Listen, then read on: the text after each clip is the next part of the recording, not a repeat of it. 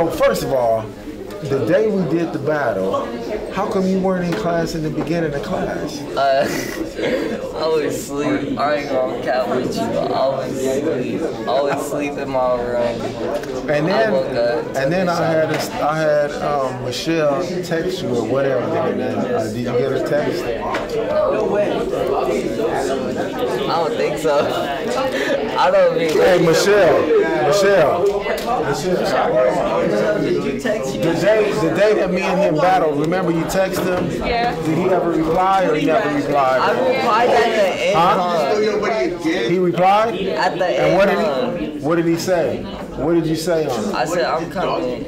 I mean, I was. I ain't gonna cap. I was asleep. Then after that, I had to go to a meeting, and then I literally came to school. All right, well that that's that's important though because so you weren't here.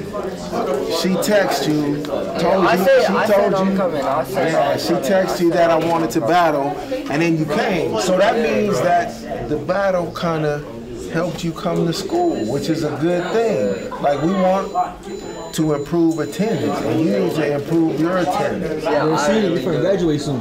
Yeah, you got to graduate, so your attendance got to be on point.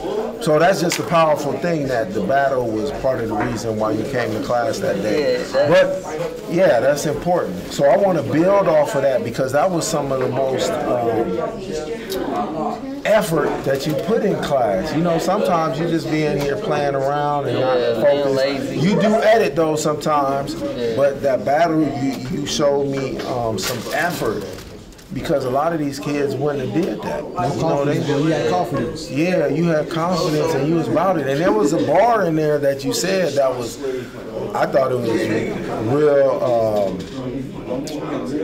for lack of a better word, I thought it was dope because it was at, it was after they asked me to go again and I said I ain't got no more. Like I, I didn't have nothing else to say. And then you said, the first thing you said was, oh, you ain't got no bars. And then you started rhyming, you know, rhyming after that. But that just tells me that you got some ability to think on your toes and come up with things quickly.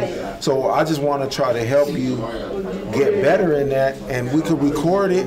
We could have Adrian and Tyson recording and editing. And we could make a video of you just getting better, working at getting better at rapping. That's an A right there. I like that right there. So you down with that? Yeah, I'm down with that. Okay, so what I want you to do um, in class right now is I want you to try to piece together um, a little rap. It could just be maybe about four bars. So